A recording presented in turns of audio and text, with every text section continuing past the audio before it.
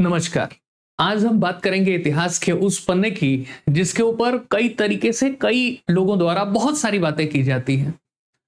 कुछ लोग डॉक्टर अंबेडकर को एक सतही तौर पर देखने की कोशिश करते हैं और उनको दलित समाज का नेता सिद्ध करने की कोशिश करते हैं। कुछ लोग केवल उनको संविधान के निर्माता के रूप में समझते हैं।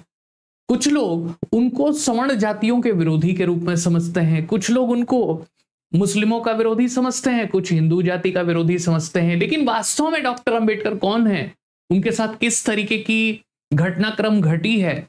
और वो कैसे युग पुरुष हैं? ये इस वीडियो में हम समझेंगे। आइए देखते हैं। तो देखिए, जिस तरीके से उनके साथ भेदभाव हो रहा है इस पूरे समाज के अंदर में, जब वो बच्चा जन्म लेता है तो जन्म से ही उसके संघर्ष की दास्तान शुरू हो जाती है। उनके पिताजी कुछ ही दिनों में रिटायर हो जाते हैं। वो अपने घर में चौदहवें नंबर पे है। तो ऑब्वियसली जब रिटायरमेंट का पैसा भी पूरा नहीं होगा और जब इतने सारे बच्चे रहेंगे तो उतना ज़्यादा सुविधाएँ भी पूरी नहीं होंगी। अब उनके सामने समाज में जो जिस कम्युनिटी से वो बिलोंग करते हैं, महार जाति तो उनके सामने बस एक ही ऑप्शन है कि वो गाँव में जो अलग से व्यवस्था गाँव के बाहर दलित जातियों के रहने की व्यवस्था बनाई जाती थी, उस व्यवस्था को देखें, सार्वजनिक स्थानों पर जाने की मनाही थी, उसको स्वीकार कर लेते। मंदिर में नहीं जा सकते हो, स्कूलों में नहीं जा सकते हो, किसी भी सार्वजनिक स्थान पर नहीं जा सकते हो। यहाँ तक कि हमारे वेदों और पुराणों में तो ये लिखा गया है कि अगर शूद्र उस रास्ते से गुजरे तो ढोल बजाता चले। तो जब इस तरीके की सामाजिक व्यवस्था है तो वहाँ पे अपने अस्तित्व को बचाना बड़ा मुश्किल होता है।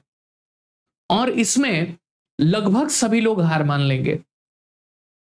तो क्या मानसिकता रही होगी डॉक्टर अंबेडकर की? यह अपने आप में एक रिसर्च का विषय होना चाहिए। एक छोटा बच्चा जब यह तय करता है कि उसको ये बेड़ियाँ तोड़नी है, इन गुलामी की जंजीरों को तोड़ना है, अपने मुकद्दर को बदलना है, अपने समाज के मुकद्दर को बदलना है तो उसके मन में क्या चल रहा होगा? वो आखिर कैसे इस पूरी व्यवस्था को बदलना चाह रहा होगा?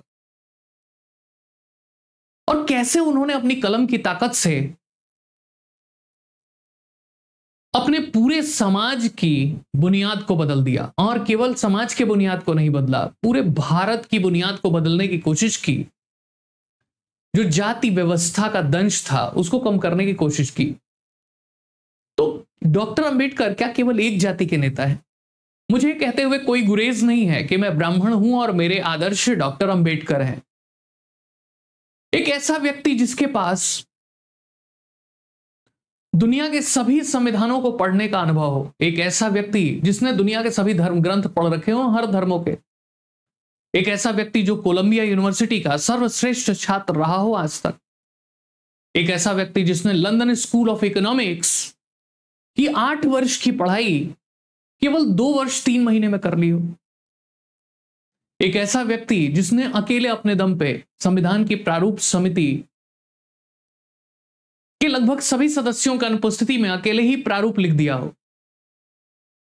संभवतः उस समय का सबसे पढ़ा लिखा व्यक्ति, जिनके पास चौसठ, सिक्सटी फोर मास्टर्स की डिग्री हो, नौ भाषाओं के ज्ञाता हो, Sanskrit, Persian, English, French, German, Gujarati, Marathi, सब तो आता है उन्हें। पैंतीस हज़ार किताबों का संग्रह है उनके अपने पुस्तकालय राजगीर में। यह चंबित कर देता है कि एक व्यक्ति कैसे इतना कुछ कर सकता है। अगर उनकी एरिस्टोटल से तुलना की जाए तो बहुत अतिशयोक्ति नहीं होगी। कुल बत्तीस किताबें लिखते हैं और जिसमें लगभग दस तो अप्रकाशित रह जाती हैं। उनको वक्त भी कम मिला है। लेकिन जिस तरीके की उनके अंदर प्रतिभा है वो दुनिया में वैसा कोई उदाहरण नहीं दिखता। लोग उनको राजनीति के लिए जानते हैं और जबकि उन, उन्होंने sociology philosophy political science economics सबकी पढ़ाई कर रखी है। लॉ हर मामले के विशेषज्ञ हैं। सोचिए उनकी मस्तिष्क की मेधा शक्ति कैसी होगी। क्या कमाल के व्यक्ति हैं। और इसीलिए वो कहते हैं कि आप खुद के ऊपर बिलीव करिए। इसलिए तो उनको कलम का बादशाह कहा जाता है। वो कहते हैं कि आप खुद के ऊपर बिलीव करिए। जब अपने ऊपर बिलीव करोगे, तब जाके चीज़ें घटित होंगी। वो कहते हैं कि आप पहले एजुकेट हो, फिर संगठित हो, फिर अपने हक की लड़ाई लड़ो। या उल्टा ही है।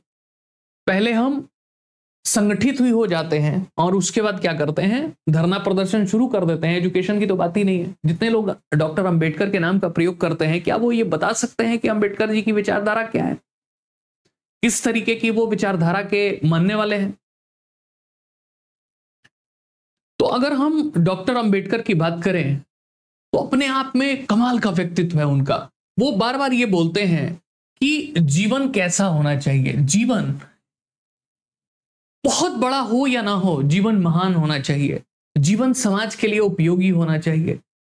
समाज को बदलने का अगर आपके अंदर बूता है तो जीवन आपके लिए उपयोगी है। आजकल के जैसा नहीं। आज हम एक नौकरी की तैयारी करते हैं, कुछ पैसे कमाते हैं, कुछ प्रॉपर्टी खरीदते हैं और उसके बाद काम खत्म। सरकारी अधिकारी बनने के बाद चोरी चकारी शुरू हो गया, महानता सिद्ध हो गई। फिर ताउम्र वही अपना से, सिलेक्शन वाला शेयर करते रहेंगे। बहुत सारे आई अधिकारी हैं बहुत सारे ऐसे ऑफिसर्स हैं जो 20-20 साल तक वही पेपर की कटिंग की फला समय में सेलेक्ट हुए थे और नॉस्टैल्जिक हुए रहते हैं। क्या ये महानता है? कि जो आपको काम दिया गया है वो महानता है। अगर इस हिसाब से डॉक्टर अंबेडकर शेयर करना शुरू करते तब तो वो खत्म ही नहीं होता। सोशल मीडिया अगर होती उस समय तो। तो इस बात को समझिए कि उपलब्धि सतत चलने वाली प्रक्रिया है। कोई एक प्रक्रिया नहीं है कि उम्र के एक दौर में आपने उपलब्धि अर्जित कर ली और उसी के ऊपर पूरा जीवन खींच लिया। तो हम डॉक्टर अंबेडकर का यह कथन बड़ा महत्वपूर्ण है, जब वो कहते हैं कि जीवन महान होना चाहिए, जीवन समाज के लिए उपयोगी होना चाहिए। अब आप देखेंगे कि वो कहते हैं कि हमें अपने पैरों पे खड़ा होना चाहिए। हम अगर अपने पैरों पे खड़ा होंगे और अपने अधिकारों के लिए संघर्ष करेंगे तो वो चीज़ें हमें मिलेंगी। कोई भी ताकत उस संघर्ष को रोक नहीं सकती है। और ये एकदम बात सही है। उन्होंने करके दिखाया। आप कल्पना करिए कि एक बच्चा जब स्कूल में जाता है, उसकी कितनी अपेक्षाएँ होती हैं? जब समाज में कदम रखता है, उसकी कितनी अपेक्षाएँ होती हैं? जब हम लोग छोटे थे तो हम समाज से क्या अपेक्षा करते थे? पता नहीं, आपको याद हो या ना हो, याद होगा ही।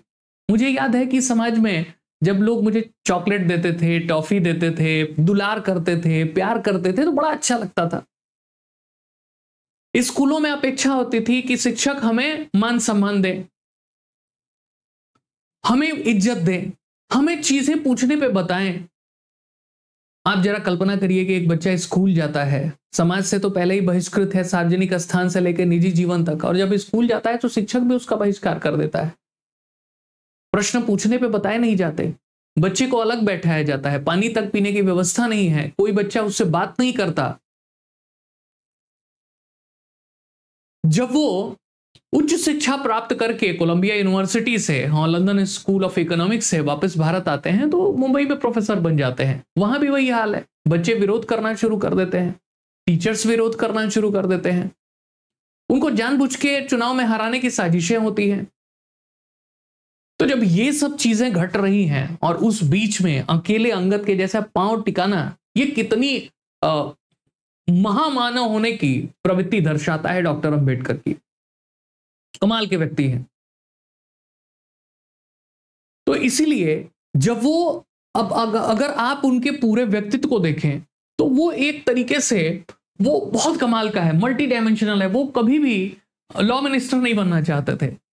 हम उनको बड़ा कम फ्रेम करके देखते हैं। हम सोचते हैं केवल संविधान के निर्माता हैं और काम खत्म। ये जो रिज़र्व बैंक बना, ये उन्हीं की देन है। उन्होंने एक बुक लिखी, जिसका नाम था problem of rupees and its solution ऐसे करके वो पुस्तक थी, उसी के ऊपर रिज़र्व बैंक की स्थापना हुई। उन्होंने पूरा इन्फ्लेशन की बात लिखी मुद्रा स्फीति की बात लिखी, आर्थिक निकायों की बात लिखी। वो फाइनेंस मिनिस्टर बनना चाहते थे, वित्त वित्त मंत्री बनना चाहते थे। लेकिन उनको लॉ मिनिस्टर का काम दिया गया। अद्भुत व्यक्ति हैं वो, अद्भुत, जिसकी आप कल्पना नहीं कर सकते। अब जब एक बच्चा ये सोचता है कि आज की डेट में हम जब एक एक एक ऐसे समाज में जी रहे हैं जहाँ हम अब कुछ भी एक्सप्रेस कर सकें, आज हम कुछ भी बोल पाते हैं, आज कुछ भी कह पाते हैं, जो मौलिक अधिकार हैं संविधान के अंदर में, अनुच्छेद 14 से लेकर अनुच्छेद 19 तक जो बेसिक रूप से दिखाई देता है कि आ, कानून का अधिकार वो जो समानता का अधिकार आ, सरकारी नौकरियों में बराबरी का हक अस्पृश्यता का विरोध उपाधियों का अंत विचार और अभिव्यक्ति की स्वतंत्रता इस तरीके की जो स्वतंत्रताएँ दिखती हैं ये डॉक्टर अंबेडकर की ही देन है। डॉक्टर अंबेडकर के मन में कलुषित भावना नहीं है जिस समाज ने उनके साथ बहुत ज़्यादा भेदभाव किया। उस समाज के लिए भी वो सोचते हैं, वो सबके लिए बराबरी का हक देते हैं संविधान में। चाहते तो उनके पास ऑप्शन था, कुछ ऐसे प्रावधान करते जिससे कि समाज का जो एक ऐसा तबका है वो दूर रह जाता। लेकिन वो समाज को बराबरी के स्थान पे लाना चाहते हैं। तो ये डॉक्टर अंबेडकर की स्थिति दिखाई देती है। वो समाज के उस तबके को, जो कभी सार्वजनिक स्थानों को यूज़ नहीं कर पाता था, जो स्कूलों में जाने से वंचित था जो पेयजल जिसको प्राप्त नहीं था। समाज में जिसके साथ खान पान नहीं होता था, उस समाज को बराबरी का दर्जा दिलाना चाहते हैं। एक समय था जब लिख दिया जाता था कि दलितों का प्रवेश वर्जित है हम अंग्रेज़ों को कहते हैं कि अंग्रेज़ों ने लिख दिया कि भारतीयों का प्रवेश वर्जित है तो क्या उसके पहले हमने नहीं लिखा? हमने भी तो लिखा कि दलितों का प्रवेश वर्जित है मनुस्मृति को इसलिए तो डॉक्टर अंबेडकर ने जलाया। हालाँकि मनुस्मृति एक विस्तृत दस्तावेज़ है, लेकिन वो, ये बातें उनको भी पता थी। वो तो कह ही रहे थे कि मनुस्मृति में जला रहा हूँ, ये बड़ा ही दुखद घटना है ये। लेकिन मुझे करना पड़ेगा, क्योंकि जो भी प्रतीक है, उनको जलना पड़ेगा। ये प्रतीक भस्म होंगे और तब जाके समाज को स्वतंत्रता मिलेगी। ऐसे किसी भी वेद पुराण, ऐसे किसी भी धर्म ग्रंथ, ऐसे किसी भी धार्मिक कर्मकांड का मैं विरोध करता हूँ, जो समाज में एक जाति को दूसरे से अलग कर दे। और बिल्कुल सही बात है। तो अब आप देखेंगे कि जिस तरीके की संरचना उन्होंने की कि अध्ययन पे बल देना और पठन पाठन को बढ़ावा देना, ये उनकी अपनी मौलिक सोच है। कहते थे ना कि शिक्षा वो शेरनी का दूध है, जो पिएगा वो दहाड़ेगा। बात सही है। आपकी तार्किकता विकसित हो जाएगी। आप तर्क करने लगेंगे, आप सवाल करेंगे। आप अपनी परिस्थितियों को स्वीकार नहीं करेंगे। आपके अंदर लड़ने का मादा जन्म ले लेगा। ईश्वर क्या है? वही तो ईश्वर है ना, जिस दिन आपके अंदर तर्क की भावना जन्म ले गई, जिस दिन आपको ये मान बैठे कि मैं अपनी परिस्थितियों से समझौता नहीं करूँगा, मैं इससे निकल के आऊँगा, वो तो गया ईश्वर का जन्म आपके अंदर। यही तो तार्किकता है।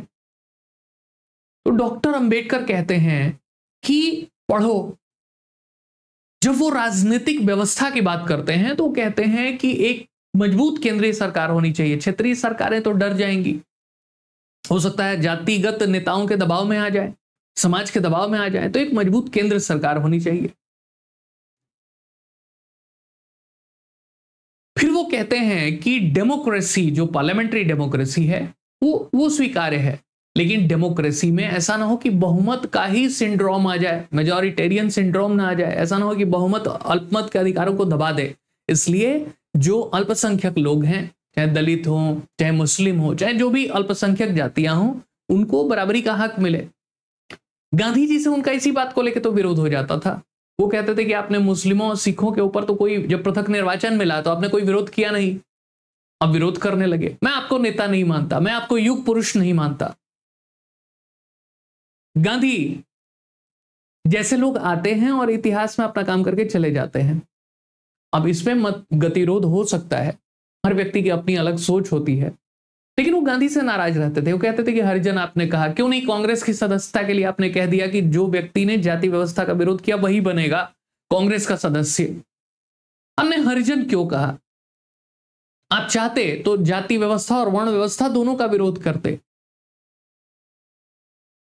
पूना पैक्ट बहुत मजबूरी में किया उन्होंने। क्योंकि गांधी जी ने आमरण अनशन शुरू कर दिया। तो गांधी जी के साथ उनका बहुत प्रबल विरोध जारी रहा। तो आप देखेंगे कि आखिर कोलंबिया यूनिवर्सिटी ने उनको, उनकी प्रतिमा क्यों लगाई है? उनके उनके पुस्तक को अपनी सिलेबस में क्यों सम्मिलित किया है? लंदन स्कूल ऑफ़ इकोनॉमिक्स ने क्यों उनकी प्रतिमा लगा रखी है? कुछ तो बात होगी उनकी। लोग कहते हैं कि देश में तानाशाही आ जाएगी। और जो राजनीतिक दल हैं जब बहुमत पालेंगे, भयंकर, प्रचंड बहुमत पालेंगे, पूर्ण बहुमत हो जाएगा 400 सीटें आ जाएँगी तो संविधान बदल देंगे। अब ये जो आप अभी ये देख रहे हैं कि ये भारत के प्रधानमंत्री हैं, माननीय नरेंद्र मोदी जी, और ये कई बार इनकी आपने देखा होगा कि कि बाबा साहब अंबेडकर के सामने हाथ जोड़ के वो खड़े हैं। क्या दर्शाता है ये? ये दर्शाता है कि जिसने संविधान लिखा, बाबा साहब अंबेडकर वो इस तरीके का संविधान है कि वो तानाशाहियों को जन्म ही नहीं होने देगा। जब जब जनता आएगी तो लोगों को सिंहासन खाली करना पड़ेगा। इस देश की जनता ने कितने लोगों को उखाड़ के फेंका है, अंग्रेज़ों को उखाड़ के फेंका, देश में कितनी कितनी आंदोलन हुए तो आपको लगता है कि देश में तानाशाही आएगी? बेकार की बात है ये। इस देश में कभी तानाशाही नहीं आने वाली है, उसके पहले ही जनता उखाड़ के फेंक देगी और इसका अधिकार संविधान देता है। सरकार चुनने का अधिकार। तभी तो ये बड़े बड़े नेता गिड़गिड़ाते रहते हैं। अगर ये संविधान का अधिकार न होता तो ये भ्रष्ट नेता हमें जीने ना देते। ये भ्रष्ट नेता अपने कार्यों को सटीक अंजाम न देते। पाँच साल में गायब हो जाते। अंबेडकर साहब कहते तो हैं कि भारत में एक समस्या है। हम चमत्कारी नेताओं को, जिसको कैरिश्मेटिक लीडर्स कहते हैं, उनके पीछे पीछे भागते रहते हैं। कभी हमको महात्मा गांधी चाहिए, कभी नेहरू चाहिए, कभी मोदी जी चाहिए और उसके बाद राहुल गांधी चाहिए, फिर केजरीवाल चाहिए, फिर कोई ना कोई चाहिए डॉट डॉट डॉट। तो कैरिश्मेटिक लीडर्स के पीछे भागना बंद करें और अपने विकास के ऊपर ध्यान दें, अपने सर्वांगीण विकास के ऊपर ध्यान दें पठन पाठन पे ध्यान दें, अपने स्किल को बढ़ाएँ। जिस दिन ये बातें हम करने में सफल हो गए, उस दिन अपने आप भारत का विकास हो जाएगा। ये जाति व्यवस्था की बेड़ियाँ टूट जाएँगी। लोग कहते हैं कि जाति व्यवस्था नहीं टूटेगी। बिल्कुल टूटेगी। आप महानगरों में जाइए। किसी से पूछिए ना, मेट्रो, मुंबई मेट्रो में चले जाइए, दिल्ली मेट्रो में चले, पूछिए ना कौन सी जाति के हो। तो उसके पास इतना भी वक्त नहीं है कि उस अहम को बता पाए। लेकिन वही आप जैसे जैसे गाँव की ओर आते जाएँगे तो आपका जातिगत दम बढ़ता जाएगा। वही व्यक्ति जो महानगरों में हर जाति, हर धर्म के लोगों के साथ रह रहा है, काम कर रहा है खा पी रहा है, उठ बैठ रहा है, शादी कर रहा है लिव इन में रह रहा है, और गाँव आते ही वही व्यक्ति जाति का सबसे बड़ा पुरोधा हो जाता है। ऐसा क्यों? इसका मतलब यह है कि जैसे जैसे समाज आधुनिकता की ओर बढ़ता जाएगा तो उसकी सोच भी आधुनिक होती जाएगी। मेट्रोपॉलिटन कल्चर जैसे जैसे बढ़ता जाएगा वैसे वैसे जाति व्यवस्था का ध्वंस भी खत्म हो जाएगा। वैसा नहीं कि मेट्रोपॉलिटन कल्चर कल्चर हर हर मामले में बेकार है और हर मामले में सही है और गाँव का कल्चर हर मामले में बेकार है। हर गाँव हो, चाहे शहर हो, हर जगह की कुछ अच्छी बातें हैं, कुछ खराब बातें हैं। तो अगर हम अच्छी बातों को देखें तो मेट्रोपॉलिटन कल्चर की ये बातें हैं। अन्य मामले हैं, जैसे पर्यावरण प्रदूषण है भागम भाग की ज़िंदगी है स्ट्रेस है, ये सब गाँव में नहीं है तो ये अच्छी बातें हैं। तो हमें उस बैलेंस को करना पड़ेगा। तो डॉक्टर अंबेडकर कहते हैं कि इन नेताओं के चंगुल से बचिए अगर आप कैरिश्मेटिक लीडर्स के चंगुल से नहीं बचेंगे तो कहीं हिटलर जन्म ले लेगा, कहीं नाजीवाद बढ़ जाएगा, कहीं फांसीवाद बढ़ जाएगा, कहीं मुसोलिनी जन्म ले लेगा। तो इसका पीछा करना छोड़िए और अपने आत्मविकास की ओर आत्मावलोकन करिए। यह डॉक्टर अंबेडकर का कथन है। डॉक्टर अंबेडकर जिस तरीके के व्यक्ति हैं, उनके अंदर जो टैलेंट है, वो वो लेखनी में दिख रहा है। उनकी पुस्तक हुवर शुद्राज में वो लिखते हैं कि शूद्र कहाँ से थे, कौन से थे? मैक्समूलर की थ्योरी को वो नकार देते हैं। मैक्समूलर कहता है, जर्मनी का एक विचारक है, वो कहता है कि आर्यंस जो है बाहर से आए थे, वेस्ट एशिया से आए थे। सेंट्रल यूरोप से आए थे अलग अलग थियरीज हैं। तो इस थियरी को नकार देता है कि आर्य बाहर से आए हैं। अंबेडकर साहब कहते हैं कि आर्य बाहर से नहीं आए हैं। सब यही की व्यवस्था है। पहले शूद्र कौन लोग थे? क्षत्रिय थे। लेकिन जब उनकी समाज में स्थिति स्थिति बढ़ने लगी तो ब्राह्मणों ने एक साजिश की और समाज में उनकी स्थिति गिरा दी और उनको शुरू का दर्जा दे दिया। अपनी पुस्तक एनिहिलेशन ऑफ़ कास्ट में वो स्पष्ट स्पष्ट रूप से गांधी जी का विरोध करते हैं और कहते हैं कि गांधी गोल गोल बातें कर रहे हैं। वो वर्ण व्यवस्था के नाम पे जाति व्यवस्था को ही लाना चाहते हैं। स्पष्ट विरोध करते हैं कि अगर इस जाति व्यवस्था का अंत करना है तो इसके हर प्रारूप का अंत करना पड़ेगा। कोई हृदय परिवर्तन जैसी चीज़ नहीं होती है जो गांधी जी कहते थे। कोई क्यों हृदय परिवर्तन करेगा? अगर एक व्यक्ति जन्म से ब्राह्मण हो गया है तो अपने अधिकारों को क्यों छोड़ेगा वो? उसके अंदर तो लालच आ जाएगा। कोई भी व्यक्ति अगर उच्च वर्ग में पैदा हो गया है तो क्यों छोड़ेगा उसको? तो इसका अंत करना पड़ेगा।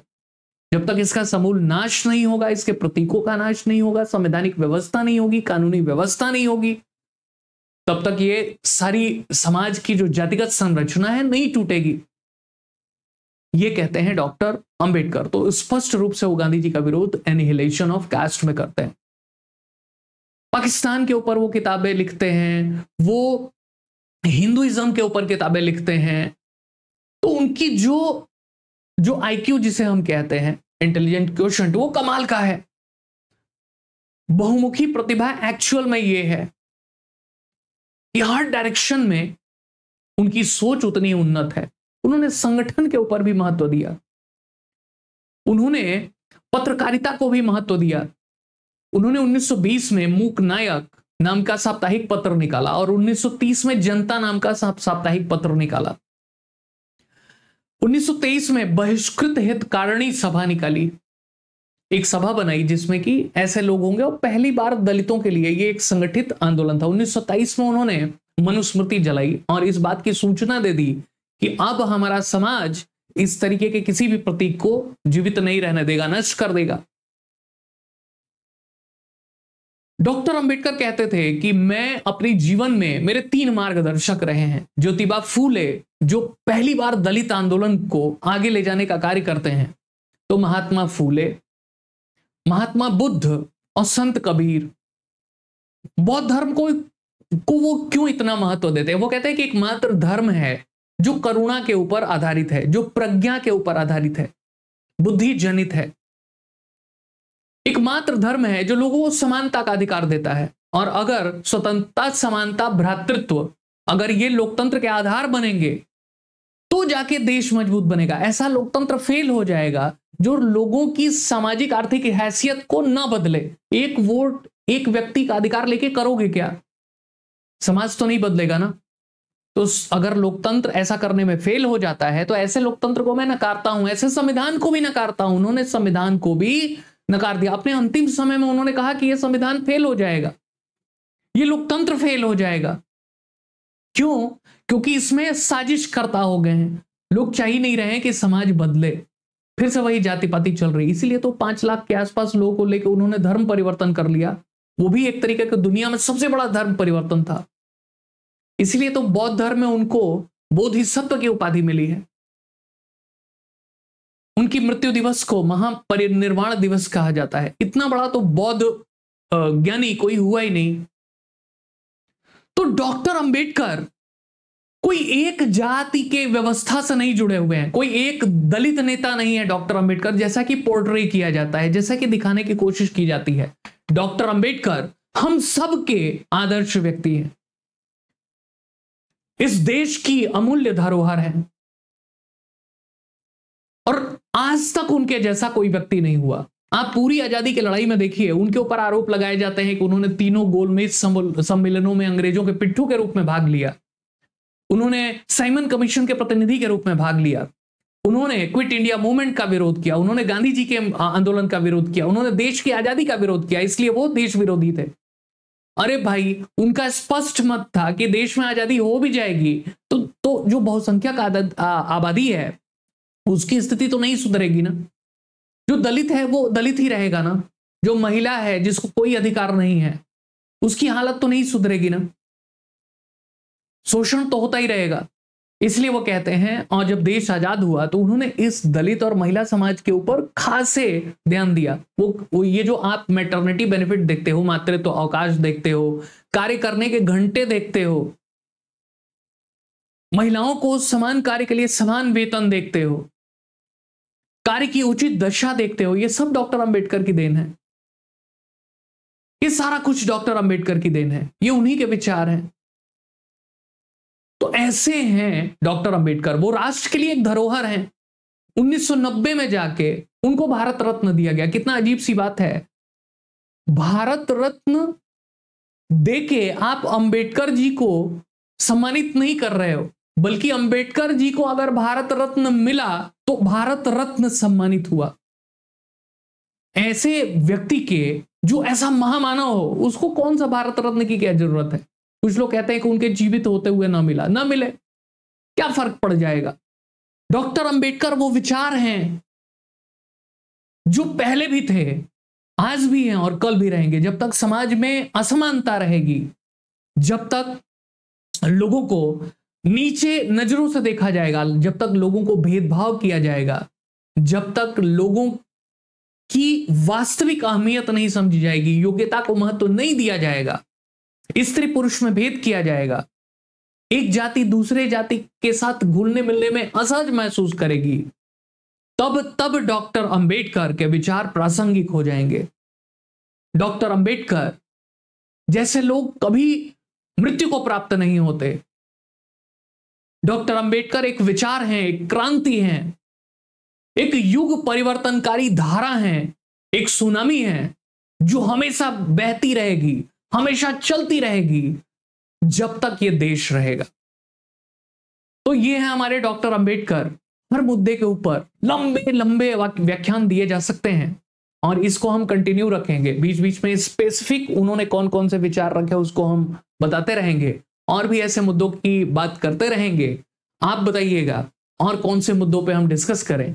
और बताइएगा ये लेक्चर कैसा लगा? ये जानकारी कैसी लगी? कमेंट बॉक्स में बताइएगा ज़रूर। धन्यवाद, नमस्कार।